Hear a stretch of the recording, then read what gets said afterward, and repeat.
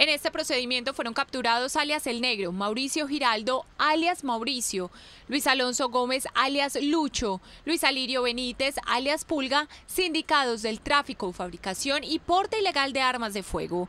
Una intervención en zona rural del municipio de Uramita. El objetivo, capturar al cole. Este se encontraba rodeado de su guardia personal, la cual se enfrenta a la Policía Nacional. Alias Negro, según las autoridades, sería el hombre de confianza de uno de los hombres más buscados en Antioquia. Estaría a cargo de la seguridad de alias Cole. Este se encargaba de organizarle las fiestas, traerle mujeres a la zona rural y se encargaba de los movimientos de, del cole. Según las autoridades, las capturas afectan las actividades criminales del clan del Golfo. Alias Cole, por ejemplo, es quien ordena asesinar a policías en Antioquia.